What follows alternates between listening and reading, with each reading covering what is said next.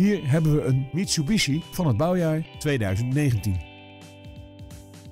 In deze auto vindt u een benzinemotor en een continu automatische transmissie. Maak het u gemakkelijk achter het stuur. Alle voorzieningen zijn aanwezig om uw rit veilig en comfortabel te maken. Op de lange lijst van extra's vinden we bovendien actieve spoorassistentie, LED dagrijverlichting en een bandenspanningscontrolesysteem. Tevens wordt deze auto geleverd met Nationale Autopas. Hebben we u nieuwsgierig gemaakt? Bel ons nu voor een proefrit.